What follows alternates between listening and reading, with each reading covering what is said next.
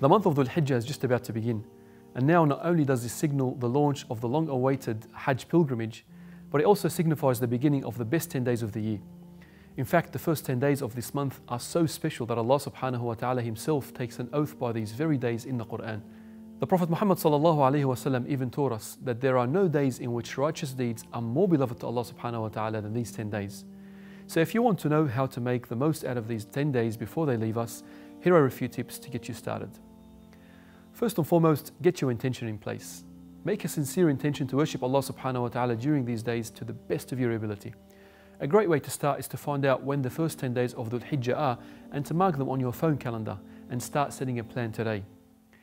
One of the greatest deeds that can be done during these 10 days is to visit the sacred house of Allah subhanahu wa ta'ala and perform the Hajj pilgrimage, the fifth pillar of Islam, obligatory upon every capable Muslim the reward of performing an accepted Hajj is no less than paradise, as Prophet Muhammad informed us. It's also recommended that those that aren't attending the Hajj pilgrimage fast on the first nine days of Dhul Hijjah, placing particular importance on the ninth, which is the blessed day of Arafah.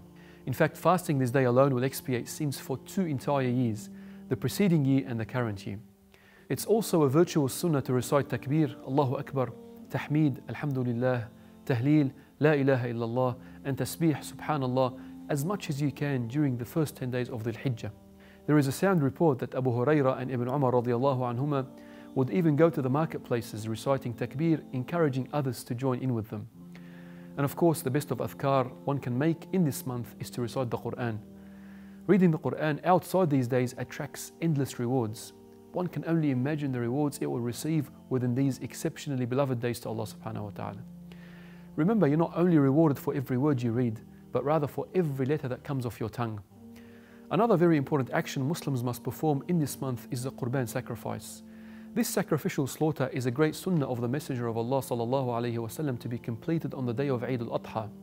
Nevertheless, all good deeds within this month are virtuous and are multiplied in numerous folds, whether it includes giving charity, enjoining kindness to our parents, praying our voluntary prayers, maintaining ties of kinship, making supplication for ourselves and those around us, calling to the path of Allah subhanahu wa ta'ala, and of course repenting to Allah from all our sins and making an active effort to change our lives for the better.